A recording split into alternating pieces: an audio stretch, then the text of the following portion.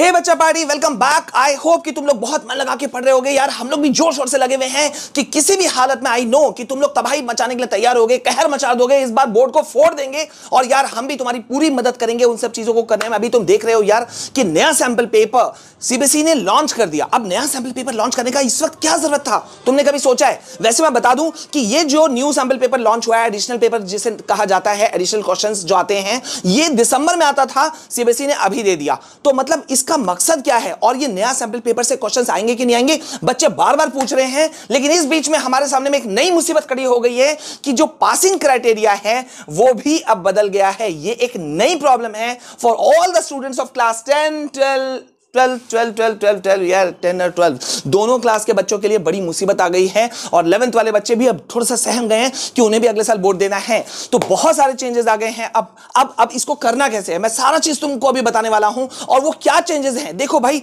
जो अप्रैल वाला जो सैंपल पेपर था ना, खुद सोचो अप्रैल में एक सैंपल पेपर था, फिर अभी देने की क्या ज़रूरत थी नया सैंपल पेपर और नया सैंपल पेपर में डिफिकल्टी लेवल इतना हाई क्यों कर दिया सीबीएसई ने? क्यों कर दिया? सोचो, जो बुक पब्लिशर्स भी है ना, वो लोग भी एक बार चौक गए हैं कि यार, अब क्या करें? बुक्स पब्लिश कर चुके, अब हमें क्या करना होगा? तो मैं तुम्हें कोई अभी बुक नहीं बताने वाला हूँ, वो तो फिर कभी देखा जाएगा, लेकिन अभी जो मैं यहाँ तुमको बताने वाला हूँ, वो ये देखो कि ये है वो न्यू सैंपल क्वेश्चंस पेपर, जो मैं तुमको, जिसका वीडियो मैं तुमको दे चुका हूँ एंड आई होप यार कि तुमने अपने खुद के इस चैनल को बता दिया सब्सक्राइब कर दिया होगा। क्योंकि यार, यहाँ पे मैं तुम लोगों को बता रहा हूँ कि तुमको कैसे पढ़ना है दोनों न्यू सैंपल पेपर और पुराने सैंपल पेपर में हमने कंपैरिजन भी कर दिया। इसलिए मैं बार बार बोल रहा हूँ चैनल को जल्दी से सब्सक्राइब करके रखो और यहाँ पे देखो बहुत बड़ा बदलाव क्या आया है। सुन करके होश फाख्ता हो जाएँगे तुम्हारे। वीडियो को 1.75 के स्पीड से देखो, लेकिन एंड तक देखना, क्योंकि मिस नहीं कर सकते अफोर्ड ही नहीं कर सकते तुम इस वीडियो को थोड़ा भी स्किप करना। देखो, भाई, नया सैंपल पेपर सिर्फ़ आया नहीं है, मुसीबत भी लाया पासिंग क्राइटेरिया भी चेंज हो गया। ये देखो 50 परसेंट जो क्वेश्चन हैं वो अकेले क्लास 10 में कॉम्पिटेंसी बेस्ड क्वेश्चन हैं और ट्वेल्थ वाले बच्चे का जो क्वेश्चन पेपर होगा उसमें 40 परसेंट जो है मतलब 40 परसेंट क्वेश्चन 50 परसेंट क्वेश्चन समझ रहे हो? इसका मतलब ये हुआ कि आधे से ज़्यादा क्वेश्चन जो है वो यही क्वेश्चन आ जाएँगे और वो भी नया सैंपल पेपर खा जाएगा ये सारी चीज़ें। अब ये कॉम्पिटेंसी बेस्ड क्वेश्चन अभी भी बहुत सारे बच्चे जानते ही नहीं है क्या है यार। कॉम्पिटेंसी बेस्ड क्वेश्चन यानी कि सिंपल से बात बोलूँ, अभी अगर तुम किसी का लंबे लंबे वीडियोस देख रहे थे ना और सोच रहे थे कि तुम बेड़ा पार कर जाओगे हाँ स्पेसिफिक एजुकेटर को पकड़ करके, उसके पुराने ढर्रे को पकड़ करके तुम पार कर जाओगे तो बहुत बड़ी गलती कर रहे हो। खुद मैंने भी चेंज कर दिया, मैं कुछ वीडियोस ला रहा था, तुमको याद होगा, जिसमें मैंने कहा था, मैं कुछ क्वेश्चंस दूँगा। लेकिन नए सैंपल पेपर को देखने के बाद में, मैंने पूरी ईमानदारी के साथ में वो क्वेश्चंस को बदल दिया है। और अब कल से जो क्वेश्चंस आएँगे, वो न्यू एडिशन जो सैंपल पेपर है, उसके अकॉर्डिंग क्वेश्चन मैं तुमको दूँगा। तो इसी बात पे एक लाइक बनता है, जल्दी से लाइक कर दो। और अब यहाँ देखो कि सीबीएसई ने अभी यहाँ पे क्या कहा है, और एक बहुत बड़ा सवाल का जवाब दे दिया है, जो बच्चे पूछ रहे हैं ना कि सर, नए सैंपल पेपर के अकॉर्डिंग क्वेश्चंस आएँगे या नहीं आएँगे? अब अपना प्रूफ देख लो। कौन देगा ऐसा प्रूफ ये देखो। इसी सैंपल पेपर के आधार पर, ये जो नया सैंपल पेपर लॉन्च हुआ, इसी सैंपल पेपर के आधार पर वर्ष 2024 की बोर्ड परीक्षा होगी। लो देखो। पूरे यूट्यूब पे बता सकते हो, दिखा सकते हो जो विथ प्रूफ सामने दिखा करके बात करें। नहीं ना, इसी बात पे एक लाइक बनता है, पहली बार चैनल में आया हूँ चैनल को सब्सक्राइब करो। और अभी मैं तुमको इससे प्रॉब्लम सिर्फ़ मैं दिखा नहीं रहा हूँ, इससे प्रॉब्लम को पार भी करूँगा। ये यहाँ पे देखो साफ़ साफ़ कह दिया, बता दें कि बोर्ड ने एक सैंपल पेपर पहले भी जारी किया था, वो सैंपल पेपर पुराने क्वेश्चन पेपर के सिलेबस पे आधारित था। देख रहे हो? पुराने सिलेबस के क्वेश्चन पेपर के आधारित था। अब उसमें बदलाव कर दिया गया है। वर्ष 2023 में टेंथ में थर्टी परसेंट क्वेश्चन आए थे कॉम्पिटेंसी बेस्ड क्वेश्चन और ट्वेल्थ में ट्वेंटी। लेकिन अब ये टेंथ वाला क्वेश्चन कितना हो गया? फिफ्टी। और ट्वेल्थ वाला कितना हो गया? फोर्टी। यानी कि बहुत बड़ा संख्या हो गया। अब यहाँ पे प्रॉब्लम है हमारे सामने में कि भाई हम इस चीज़ से प्रॉब्लम से नज़र से बाहर कैसे जाएँ? देख रहे हो? कॉम्पिटेंसी बेस्ड क्वेश्चंस की संख्या बढ़ा दी गई है। ठीक है? साथ ही साथ में जो शॉर्ट वेरी शॉर्ट लॉन्ग उनकी भी संख्या बढ़ा दी गई है। और ये एक नई मुसीबत का संकेत है हम सब के लिए, लेकिन हमको करना कैसे है? मैं तुम लोगों को कुछ चीज़ें यहाँ दिखाने वाला हूँ विथ आंसर शीट दिखा रहा हूँ, और बता दूँ भाई, शायद तुमको पता होगा, मैं खुद भी सीबीसी का कॉपी चेकर हूँ इवेल्युएटर हूँ टीचर हूँ तो मैं खुद कॉपी चेक करने जाता हूँ। तो हम कैसे मार्क्स देते हैं? आज वो भेद खोलने वाला हूँ, एक वो पूरा पिटारा खोलने वाला हूँ। ये देखो, एक कॉपी मैं तुमको दिखा रहा हूँ, और साथ ही साथ में देखो, मैं यहाँ पे तुमको एक दूसरा पेज भी दिखा रहा हूँ। अब यहाँ पे पेपर किस तरह से पासिंग क्राइटेरिया को तुम धत्ता बताते हुए, ये जो हमने कहा ना, कि इसका प्रॉब्लम को हम दूर कैसे करें? हाँ ये कौन सा बदल गया? देखो भैया, अगर तुम आप सोच रहे हो ना सिंपल तरीके से लिख करके तुम पेपर लिख करके आओगे और तुम पास कर जाओगे। वन शॉट वीडियो देखोगे तुम पास कर जाओगे लंबे लंबे आंसर लिखोगे पास कर जाओगे हाँ? भूल जाओ, सीधे भूल जाओ। पास छोड़ो फेल हो जाओगे, मैं तुमको बता दे रहा हूँ। तो करना क्या होगा? तुम्हें स्ट्रैटेजी पे चलना होगा, छह पॉइंट्स के स्ट्रैटेजी पे चलना होगा, तभी तुम जीत पाओगे। अभी तुम्हारे सामने मैं एक आंसर शीट में दिखा रहा हूँ, वो भी टॉपर का आंसर शीट दिखा रहा हूँ, ठीक है? अब टॉपर का आंसर शीट चाहो तो तुम सीबीएसई की वेबसाइट पर जाके खुद भी डाउनलोड कर सकते हो, बहुत सारे मिल जाएँगे तुम्हें। तो अब यहाँ पर देखो, सबसे पहले तुम्हें जो फोकस करना होगा, वो फोकस करना होगा पेपर प्रेजेंटेशन पे। देखो सिंपल है सीबीएसई का सबसे बड़ा सेंटेंस होता है, हमको पेपर प्रेजेंटेशन भैया पहले दे दो। मतलब जो लिख रहे हो, वो सही तरीके से हो। अब ये कॉपी तुम्हारे सामने में है, तुम देख सकते हो, यहाँ साइड मार्जिन किस तरह से इस स्टूडेंट ने दोनों साइड में कॉपी के दोनों साइड में दे दिया है? है ना? उसके बाद में किस तरह से neat and clean writing handwriting पे तुम्हें फोकस करना है? अगर तुम्हारी हैंड राइटिंग अच्छी नहीं है still you have three to four months तीन से चार महीना बचे हैं थोड़ा सा तो काम करना शुरू कर दो। और वो हैंड राइटिंग तुम्हें स्पीड भी देगा, क्योंकि हमें चाहिए बहुत बड़ी चीज़ टाइम मैनेजमेंट हमें टाइम मैनेजमेंट भी चाहिए। उस पर्टिकुलर टाइम मैनेजमेंट के अंदर में रहते हुए हमें सारी चीज़ों को करना है। अब यहाँ पे हम शुरू कैसे करेंगे? इस स्टूडेंट को अगर तुम देख रहे हो गौर से, मैं तुमको दिखाता हूँ। अगर इस स्टूडेंट को तुम गौर से देख रहे हो तो यहाँ पे स्टूडेंट ने क्या किया है?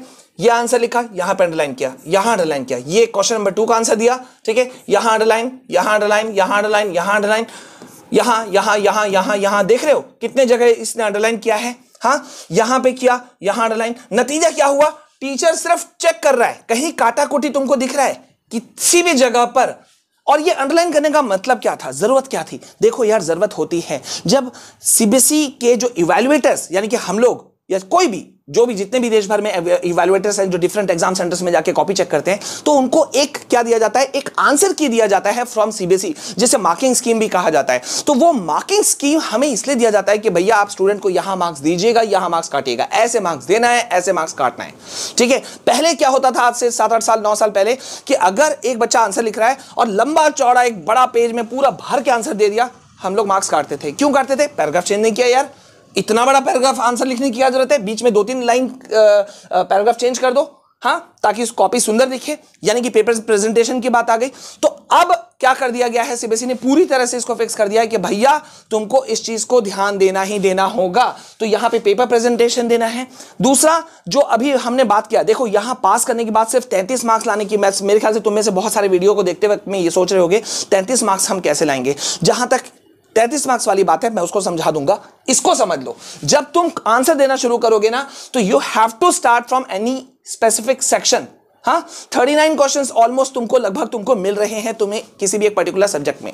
लमसम यही रहेगा। तो 39 क्वेश्चन में section A B C D वगैरह वगैरह से कहाँ से तुम्हें शुरू करना है? जिस सेक्शन को तुम छुओगे, याद रखना, उस सेक्शन को तुम्हें कंप्लीट करते हुए जाना है। ठीक है कंप्लीट एनी सेक्शन अक्सर क्या होता है स्टूडेंट्स गलती करते हैं, यहाँ आया, इस सेक्शन का ये क्वेश्चन बना दिया, इस सेक्शन का ये बना दिया। वो सोचते हैं, अरे यार, हम कॉपी के अंदर में लिख रहे हैं ना आंसर नंबर फाइव सीधा पहुँच गए आंसर नंबर ट्वेंटी सिक्स सीधा पहुँच गए आंसर नंबर थर्टी। ऐसा नहीं होता है। तुम एक सेक्शन को टच करोगे और उसी को खत्म करने जाने वाले हो। ठीक है? इसके साथ में तुम्हें इंस्ट्रक्शंस को फॉलो करना है क्योंकि सीबीएसई ने बहुत इंस्ट्रक्शंस चेंजेस किए हैं। मैं तुम्हें बता दूँ, बहुत इंस्ट्रक्शंस चेंजेस किए हैं। तुम न्यू सैंपल पेपर को एक बार नज़र ज़रूर डालना। बोलोगे तो मैं तुमको एक वीडियो के अंदर दिखा दूँगा। ठीक है? अब यहाँ पर अंडरलाइन करना है तुम्हें कीवर्ड्स को। अब जब कीवर्ड्स को अंडरलाइन करने की बात आ रही है ना, यहाँ जरा सा देखो। इस बच्चे ने क्या किया था? यहाँ पर आंसर लिखा ठीक है?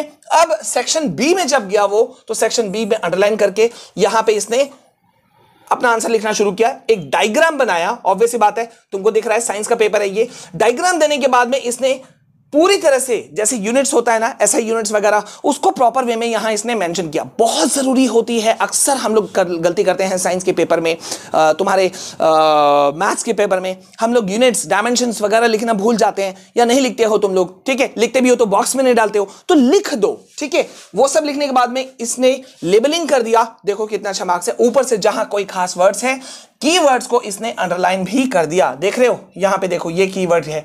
हाँ तो ये मेरा अंडरलाइन किया हुआ नहीं है, ये उस स्टूडेंट का है। नतीजा, एक भी काटाकुटी टीचर ने नहीं किया भर भर के मार्क्स दे दिया। ठीक है? भर भर के मार्क्स दिया, जिसका फ़ायदा किसको मिला? सीधा सीधा स्ट्रेट स्ट्रेट अवे मिला स्टूडेंट को। अब नेक्स्ट पॉइंट पर आते हैं कि किसी भी तरह से तुम्हें एक बात का ध्यान रखना है। मैं थोड़ा सा जंप कर रहा हूँ यहाँ पर पॉइंट नंबर सिक्स पे। आंसर इन पॉइंटर्स देखो यार, तुम जो आंसर लिखोगे ना, अब वो लंबे चौड़े मत लिखना, इस स्टूडेंट की तरह लिखना पॉइंट्स में। पॉइंट्स में पॉइंट्स में आई रिपीट पॉइंट्स में. अब पॉइंट्स का मतलब क्या हुआ? जल्दी से समझ जाओ, ठीक है? पॉइंट्स का मतलब ये हुआ, मेरे प्यारे बच्चों, कि जब अगर तुम आंसर लिख रहे हो सपोज़ एक मार्क्स का क्वेश्चन है, ठीक है? जस्ट ए सेकेंड हाँ देखो, एक मार्क्स वाला क्वेश्चन है, ठीक है? तो यहाँ पे तुमको नेचुरल है, एक वर्ड का ही आंसर होगा, ठीक है? अब दो मार्क्स का क्वेश्चन है. सॉरी पावर कट हो गया. तो मैं इसमें मदद अभी नहीं कर पा रहा हूँ. ठीक है? मैं इसको किसी और वीडियो में समझा दूँगा. यही झेलना पड़ता है. सोचो तुम्हारे विशाल सर को कितना दिक्कत होता है कि मैं काम कर रहा हूँ और काम करते करते लाइट चला गया. कोई इशू नहीं है. तो यहाँ पे देखो एक बात बता रहा हूँ. जैसे तुमने यहाँ पे एक मार्क्स वाला क्वेश्चन को फेस किया, वो तो एक वर्ड का आंसर है। दो मार्क्स वाले क्वेश्चन पे तुमको क्या करने होंगे? कम से कम दो से तीन लाइन लिखने हैं। तीन मार्क्स वाले क्वेश्चन पे क्या करना है? कम से कम तीन से चार, पाँच लाइन लिखने हैं। पॉइंट्स में लिखने हैं। रिमेंबर दैट पॉइंट्स में लिखने हैं। चार मार्क्स वाले पे क्या करोगे? कम से कम चार से पाँच तुम्हें पॉइंटर्स लिखने हैं। पाँच मार्क्स में क्या करोगे? पाँच से ये में। ठीक है? पाँच से छह, सात लाइन पे पॉइंटर्स में तुमको आंसर देना है। तो ये होगा तुम्हारा सही तरीके से पॉइंट में आंसर देना। कीवर्ड्स अंडरलाइन करना बिल्कुल नहीं भूलना। डायग्राम ज़रूर बनाओ। जहाँ जहाँ तुम फ्लो चार्ट को यूज़ कर सकते हो डायग्राम बना सकते हो फिगर बना सकते हो, ज़रूर बनाओ। कोई स्पेसिफिक वर्ड है, उसे अंडरलाइन करो। यूनिट्स हैं, उसको बॉक्स के अंदर डालो, ये सब ज़रूर करो। अब आते हैं पासिंग चीज़ पर कि भाई 33 परसेंट मार्क्स क्या है।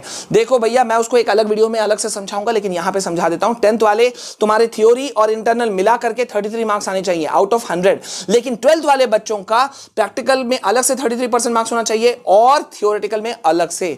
तो इतना चीज़ को कब पकड़ के चलना है? अब ये जो क्राइटेरिया चेंज हुआ है ना इस बार का कि डिफिकल्टी लेवल हाई हो गया। देखो बच्चे कह रहे हैं सर आप बोल रहे हो हार्ड हो गया वो बोलता है ढीला हो गया ईजी है। एक बात बोल रहा हूँ तुम मन में थोड़ा सा हार्ड लेके चलोगे तो तुम्हारे लिए कोई नुकसान है? मैं तुमको डरा नहीं रहा हूँ ठीक है? मैं तुम्हें प्रिपेयर कर रहा हूँ मेंटली प्रिपेयर कर रहा हूँ। थोड़ा सा तैयार होकर चलोगे तो, तो फ़ायदा तुम्हारा ही है। आगे तुम जैसा सोचो और अगर सही लगता है तो प्लीज़ इस वीडियो को शेयर ज़रूर करना लाइक करना कमेंट करना तुम्हें कैसा लगा ये वीडियो। और नेक्स्ट टॉपिक क्या है? मैं नए टाइप से बने हुए क्वेश्चन जो मैंने अब तैयार किए हैं आज, उसको मैं देना शुरू कर रहा हूँ कल से। बी रेडी फॉर दैट मिलते हैं नेक्स्ट वीडियो में। जय हिंद, जय भारत।